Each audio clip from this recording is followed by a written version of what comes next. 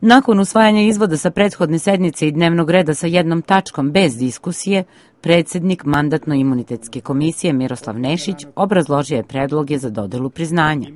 Za specijalno javno priznanje sa novčanim iznosom od 100.000 dinara predložen je dr. Dobrivoje Nikolić, vranjancima poznat kao lekar u Simpu i izumitelj mnogih masti i čajeva, za koga je rečeno da je osim što je ceo radni vek posvetio lečenju ljudi, dao i veliki doprinos na polju nauke.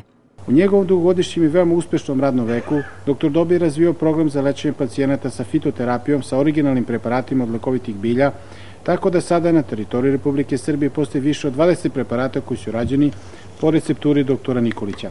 Naročito je značajna dobriva mas koja pored toga što pomaže kod opekotina dobere leki za promrzline, otvorene rane opekotine od sunčanja. Kao što smo prethodnih dana izveštavali, potvrđeni su predlozi da se javna priznanja u vidu diplome sa novčanim iznosom od 50.000 dinara dodele sportisti Vladi Stošiću Cincaru, koji je uticao na razvoj fizičke kulture i ime našeg grada, proslavio i van granica Srbije i brigadnom generalu Zoranu Luburi.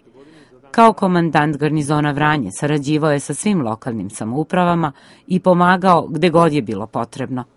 Javno priznanje u vidu diplome dobiće i Ministarstvo privrede za veliku podršku gradu u privlačenju stranih investicija, otvaranju novih radnih mesta i na izgradnji infrastrukture, kao i RZD Internacional za izuzetan doprinos u procesu osavremenjivanja nastave. Sve odluke su donete jednoglasno, a priznanje će biti uručeno na Svečanoj akademiji na Dan grada.